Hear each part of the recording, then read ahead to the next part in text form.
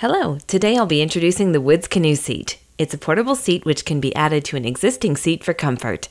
It's very easy to transport. It doesn't take up much space. It has only two clasps, which makes it very simple to install. It even has a small sleeve for storage. It's extremely easy to use. Upon arrival, remove the strap that ensures safe transportation.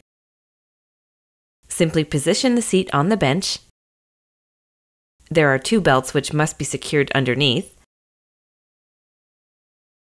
align the seat, and adjust the belts. Once it's installed, it's very simple. Lift the backrest and have a seat. It greatly improves the comfort of all your canoe trips.